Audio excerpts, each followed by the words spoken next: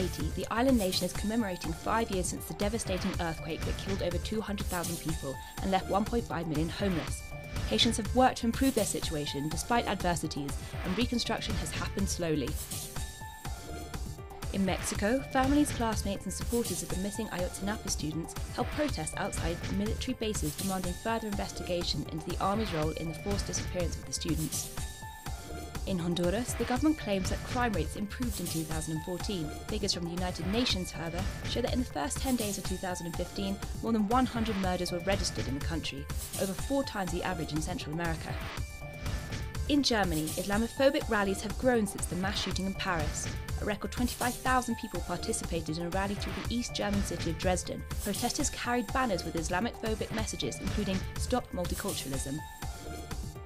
In Afghanistan, at least two people were killed and more injured in an explosion in Kabul. According to police spokespeople, the victims were all civilians.